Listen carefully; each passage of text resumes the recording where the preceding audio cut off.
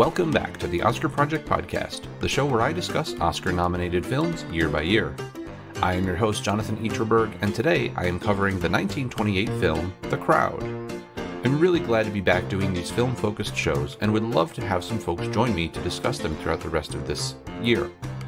If you are interested in coming on as a guest to discuss any of the remaining films from the first Oscars, please find me on social media or leave a comment on this episode in Substack. As always, please be sure to subscribe to the show to get all the latest episodes. So let's jump right into today's film. The Crowd first hit theaters on February 28, 1928, in New York City, with wider national distribution on March 3rd. It was directed by prolific director King Vidor, who wrote the story along with Henry Bain, who also helped write our last film, The Racket, though he was not credited on the film. James Murray stars as John Sims, with Eleanor Boardman as his wife Mary, Bert Roach as John's friend Bert, Estelle Clark as Jane, and Daniel G. Tomlinson as Jim. With a running time of 98 minutes, the film was produced by Irving Thalberg and distributed by Metro Goldwyn Mayer, which you might know better as MGM. The film received two Academy Award nominations for Best Director of a Dramatic Picture and Best Unique and Artistic Picture. It was released on VHS and Laserdisc in the past, but does not have a DVD or Blu ray edition available, However, you can find a copy on the Internet Archive, which is where I watched it. The story of the crowd centers on John Sims and his family as he grows up, faces trials and tribulations, just as any family goes through. His father passes away when John is only 12, but not before telling John that he will be something someday, which becomes a recurring theme throughout the film. It jumps ahead to John at age 21, arriving in New York City to make his big break. He begins working in an office building and meets his friend Bert, after work one day, Bert invites him on a double date to Coney Island. John is paired up with Mary and enjoys her company so much that he proposes by the end of the date. They marry, and we begin to see some fractures when John interacts with Mary's mother and brothers at Christmas Eve dinner. It's clear that John is seen as a failure by Mary's family, reinforced by the apartment they live in that has doors and cupboards that won't stay shut and a toilet that's on the fritz. Time passes with John and Mary quarreling periodically, but they patch things up and eventually have a son, a daughter soon follows, and John is eventually given an $8 raise. I think that's $8 a week, not $8 an hour. Mary is disappointed, especially since Bert has been soaring up the ranks in the company. But the family gets a big break when John wins $500 for an advertising slogan he writes. Mary is overjoyed and makes out a list of the bills they can pay off, while John arrives home with gifts for the whole family. John and Mary call out the window of their apartment to their children, urging them to come home quickly, but when they run across the street, the daughter is hit by a truck and dies later that evening. Both parents are distraught, but John's work is negatively affected by his daughter's death. When he is scolded at work for not performing adequately, he gets angry and quits in a huff. After quitting, John hides the news from Mary briefly, but is forced to tell her when Bert mentions it at a work function the next day. Following his outburst, John manages to land several jobs, but never seems to keep them very long. Mary's brothers begrudgingly decide to offer John a job with their firm, but he refuses, believing it to be a charity job. So he goes out and contemplates suicide, but is followed by his son, who says he wants to be just like his dad when he grows up. That unconditional love changes John's mind, and he soon lands a job carrying a sandwich board. He returns home with renewed hope, but Mary is about to leave with her brothers. She only makes it a step or two out of the house before returning to John inside. John offers her the vaudeville tickets he had bought for the family, but in the final scene, we see all three of them laughing together at the show as the camera zooms out and the Sims family blends in with the rest of the crowd. So, looking at some of the key players in the making of this film, the biggest name attached to the film was, and remains to this day, the director King Vidor. He was born February 8, 1894, in Galveston, Texas, and had a fascination with photography and cameras from an early age getting started working as an amateur newsreel cameraman at the age of 18. His first film, The Grand Military Parade, was produced in 1913, and he remained a prolific director throughout the rest of the silent era. The Crowd was one of his last silent films before he successfully transitioned to making sound pictures in the 1930s. He spent much of his career working with MGM and actually worked on the black and white sequences for The Wizard of Oz, including Judy Garland's singing of Over the Rainbow. His work on these scenes, as well as other technical work at MGM, often went uncredited. Vidor was married three times, first to Florence Arto in 1915, then to Eleanor Boardman in 1926, who he selected to star in The Crowd, and finally to Elizabeth Hill in 1932. He had one child with Arto and two with Boardman, the youngest of which just passed away in 2023. Vidor himself lived to the age of 88, passing away on November 1, 1982, at his ranch in Paso Robles, California. James T. Murray was a relatively unknown actor when he starred in The Crowd. He was born on February 9, 1901, in the Bronx, and was the second of seven children. He made his film debut in 1923 as Captain John Alden in The Pilgrims, before moving to Hollywood to pursue his acting career. He spent several years working mainly as an extra on films before he was discovered by Vidor. When asked to interview with the director about the film, Murray skipped the meeting thinking it was a joke, but was eventually tracked down by Vidor and given the role. Despite the big break of starring in the crowd, Murray soon fell on hard times, even serving time in jail for being drunk during a court appearance. Vidor would attempt to help him once again when he cast Murray in his film Our Daily Bread in 1934. Murray was briefly married to Miss Florida Marion Sayers in 1933. However, he died on July 11, 1936, at the age of 35, drowning in the North River in New York City. Vidor would later write a screenplay titled The Actor about Murray, but it was never produced. Olive Eleanor Boardman was born on August 19, 1898, in Philadelphia, Pennsylvania. She appeared in more than 30 films over a span of 13 years. She married Vidor in 1926 in what was supposed to be a double wedding with actors John Gilbert and Greta Garbo, though Garbo broke off those plans at the last minute. They would remain married until 1933, and as I mentioned a moment ago, had two children together, Antonia and Belinda.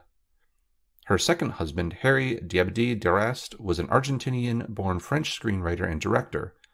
Boardman has a star on the Hollywood Walk of Fame, located at 6928 Hollywood Boulevard. She lived to the age of 93 and passed away on December 12, 1991, in Santa Barbara, California. Lastly, Egbert Roach was born on August 21, 1891, in Washington, D.C. He appeared in over 300 films over the course of his career, starting in 1914 and continuing to 1951. And he died on February 16, 1971, in Los Angeles at the age of 79. The crowd took much longer than many other productions around this time, clocking in at 97 days, a time frame usually reserved for more lavish productions like The Mutiny on the Bounty, which would come a few years later. The film was made on location in New York City, much of it with hidden cameras, and employed relatively unknown actors Despite being a modest success at the box office, it did receive praise from critics. MGM executives found that the bleak social outlook of the crowd was troubling, but the film has since been recognized as one of the masterpieces of the late silent era. The crowd was also among the first 25 films selected for preservation by the National Film Registry in 1989, alongside such classics as Casablanca, Citizen Kane, Vertigo, The Wizard of Oz, and Star Wars. I'll get to my thoughts on the film in just a bit, but the first contemporary review that I came across was scathing in its treatment of the crowd. An unnamed reviewer for Variety published an extremely negative review of the film, beginning by calling it, quote, a drab, actionless story of ungodly length and apparently telling nothing. The reviewer goes on to complain about both the mundane story and the length multiple times. Given that the film is just over an hour and a half, I would hate to see what the reviewer would have to say about some of our lengthy blockbusters today, like the Avengers Endgame or anything directed by James Cameron in the last 30 years.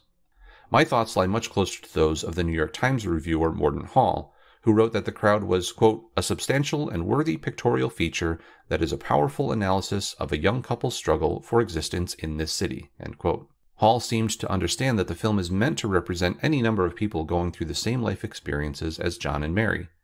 We are supposed to identify with them, if not in all their experiences, at least in some. Film Daily proclaimed that the film has universal appeal and an intensely human story when it was released in 1928, and in early 1930 ranked it among 10 best pictures of that year. And finally, Photoplay listed Boardman and Murray among the best performances of the month and called the film, quote, a tremendous production and one that comes as near to reproducing reality as anything you have ever witnessed. Needless to say, the overall consensus of reviews was generally positive. At the Oscars, the crowd was nominated for two Academy Awards. The first was for the one time only category Best Unique and Artistic Production, which officially went to producer Irving Thalberg at MGM. In his 2005 book Lion of Hollywood The Life and Legend of Louis B. Mayer, Scott Eyman notes that The Crowd was a big departure from the standard fare that was coming out of MGM at the time, but it was greenlit by Thalberg anyway. However, Mayer hated the film and refused to vote for it for Best Picture when the time came for the Academy Awards. Mayer would go on to use the film as a, quote, example of everything that was wrong with artistic filmmaking, end quote. And this may have contributed to the film not winning in this category. In addition to that nomination, King Vidor received a nomination for Best Director of a Dramatic Picture. It's interesting that the film landed Vidor's nomination in the drama category, since there was an award for Best Director of a Comedy Picture at that first Academy Awards. Even though there are comedic elements to the film, it apparently skews a bit too far toward dramatic picture to be considered for the other category. The two directing categories would be combined the following year and remain so until the present day. Vidor would go on to be nominated for a total of five Oscars for Best Director and ultimately receive an honorary Academy Award in 1979. I personally like this film overall. It was something I could identify with quite closely, appreciating the struggles that John and Mary go through over the course of the film, things that many young families experience. Everything in it felt real and relevant even today. On a personal note, I most identified with them at the point where their daughter is killed by the truck. I've mentioned in a few of my filmmaker interviews this year that my wife and I lost our first child when he was only a month old. So anytime I see a young child die on screen, I feel that deeply in my core. And I don't want to end this episode on a downer, so I will add that there were a few comparisons I made as I watched. In many aspects, this film reminded me a bit of It's a Wonderful Life, even though it came out nearly 20 years earlier. Murray's portrayal of John Sims has a very Jimmy Stewart quality to it, and this was further reinforced when John considers suicide near the end of the film, just as George Bailey does in It's a Wonderful Life. It's also ironic that both characters are married to a woman named Mary. There were also several moments in the film that made me laugh out loud as I watched. First, when John is working early in the film, there is a cutaway to the clock in the office, and the second it hits five o'clock, every man in the office bolts up from his desk and heads for the door. When they're on the first date at Coney Island, John and Mary ride on a Tunnel of Love style ride, which opens up randomly for onlookers to see if the riders are kissing, under a sign reading, Do they neck? The entire scene at the apartment before Christmas Eve dinner is played for laughs, with various parts of the home breaking in a very slapstick way. And something that still amazes me is the scene when John rushes to the hospital upon hearing that his son has been born. There are several long benches with men sitting on them, all waiting for their wives and newborns to come out. I know that's how things were done at the time that this film was made, but I just find it funny since I was in the room when all of my children were born. Finally, another sign of a different time is the attire worn by John and Mary on their honeymoon to Niagara Falls, and later when they are on the beach with the kids. They wear what we would probably call business casual, at least, while out by the falls taking pictures. And on the beach later in the film, there are men in suits and hats, something you'd never find today unless it was for some sort of fashion magazine photo shoot. As always, with my individual movie episodes, I'll include a list of references in the show notes, including where you can find the film to watch online. Please be sure to follow me on Facebook and Instagram and subscribe to the Oscar Project newsletter at theoscarproject.substack.com. The Oscar Project podcast is written and produced by me, Jonathan Eatroberg, with editing assistance from Joshua Eatroberg. Join me for my next movie episode where I discuss the film Sadie Thompson. Thanks for listening, and I'll see you at the movies.